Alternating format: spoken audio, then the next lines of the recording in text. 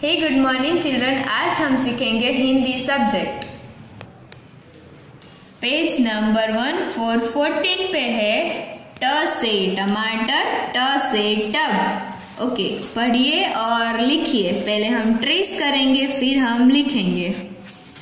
तो फ़र्स्ट है standing line and फिर जैसे हम सी लिखते हैं ना, वैसे सिंपली सी करना है. और देन स्लिपिंग लाइन ट से टमाटर. स्टैंडिंग लाइन फिर कव स्लिपिंग लाइन स्टैंडिंग लाइन कव स्लिपिंग लाइन और बोलना है ट से टमाटर. अभी हम सिंपली यहाँ पे लिखेंगे. देखो चिल्ड्रन यहाँ तक टच किया है. हमें भी टच करना है. स्टैंडिंग लाइन एंड कव स्लिपिंग लाइन ट से टमाटर. ट से टब ट से टमाटर, ट से टब ओके? ये तो एकदम इजी है। तो आपको यहाँ तक फिल करना है। अभी हम लेंगे एक्टिविटी चित्र को पहचान कर उसके नाम का पहला अक्षर लिखकर शब्द पूरा कीजिए। ओके? चलो हम करते हैं। ये क्या है? गमला। तो इसमें क्या लिखा है? म ला तो क्या बाकी है? गमला में ग बाकी है। क्या बाकी है? ग। तो हम यहाँ पे लिखेंगे ग।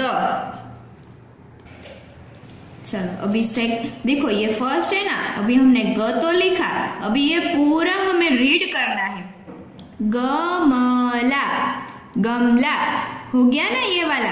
तो आपको भी ऐसे ही करना मैम, जो भी रिपीट करे ना, वो आपको भी मेरे साथ रिपीट करना है। और ये जो वर्ड्स है ना, जो मैं अभी लिख रही हूँ, वो आपको बुक में भी लिखने हैं और बोलने हैं रीड करके ही लिखना है। अभी आप छोटे बेबी नहीं हो, आपको छोटे छोटे जो सेंटेंस होते हैं ना, वो रीड करके ही लिखने हैं। अभी सेकंड है, ये क्या है? ज से झग। तो यहाँ पे ग दिया है। तो क्या बाकी है? जग तो ग तो दिया है तो क्या बाकी है? फ़र्स्ट लेट फ़र्स्ट जो व्यंजन है, वो ज बाकी है। तो हम यहाँ पे लिखेंगे ज।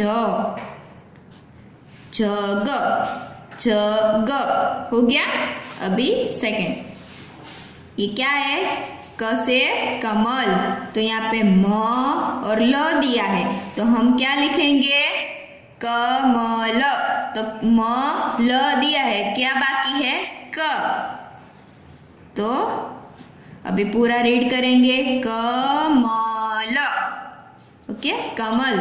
अभी यहाँ पे है, ये है टब। तो ये टब तो क्या दिया है? ब दिया है। तो क्या बाकी है? देखो यहाँ पे एक है। टब है ना? तो ये ट अभी जो हमने सीखा, वो ही लिखना बाकी है। तो अभी यहाँ पे हम लिखेंगे ट। टब हो गया? अभी लास्ट ये क्या है? घर। क्या है? घर। तो घर में र दिया है। तो कौन सा व्यंजन बाकी है? घ। तो हम यहाँ पे लिखेंगे घ।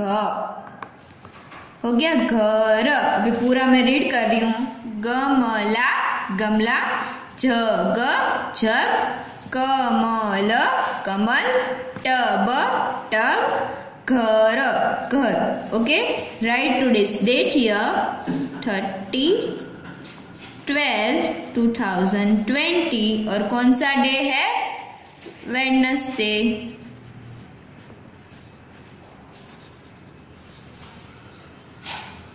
Sorry, Wednesday. अभी है पेज नंबर फिफ्टी पे ठ से ठप्पा ठ से ठठेरा। ओके तो हम ये करते हैं। इसमें भी जैसे हमने ट किया ना, वैसे ही वहाँ से ही कंटिन्यूशन में थोड़ा आगे जाओगे तो ठ से ठप्पा और ठ से ठठेरा। देखो, ये है हमने यहाँ तक किया ट ट किया, अभी थोड़ा आगे जाना है टर्न लेके। तो ये क्या हो गया, ठ से ठठेरा लास्ट में स्लिपिंग लाइन ट आएगा ना, आपको पहले ट करना है, उसके बाद ही ठ करना है। तो ये ट यहाँ तक ट आता है, फिर यहाँ से कंटिन्यूशन में राउंड लेना है तो आएगा ठ से ठप्पा। ओके अभी हम यहाँ पे राइट डाउन करते हैं। ये यहाँ तक हमारा ट, अभी यहाँ से ऊपर। देखो चिल्ड्रन जॉइंट नहीं है। थोड़ा सा आपको यहाँ पे रखना है। पूरा जॉइंट नहीं करना है okay sleeping line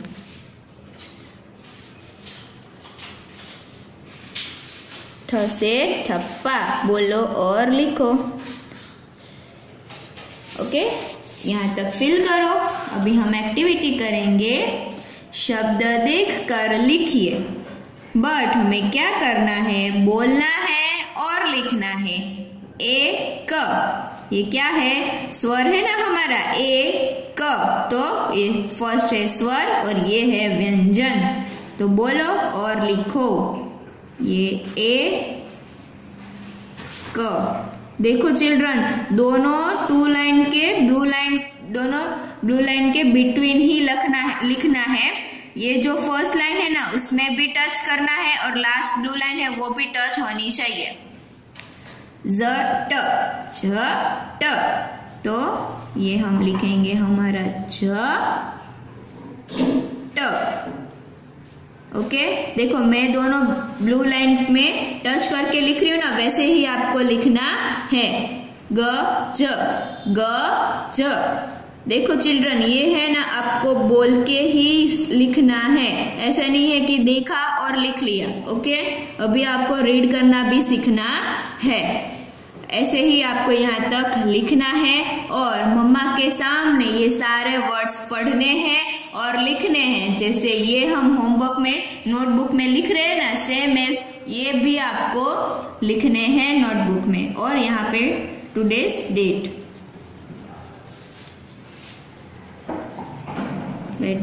Wednesday thank you children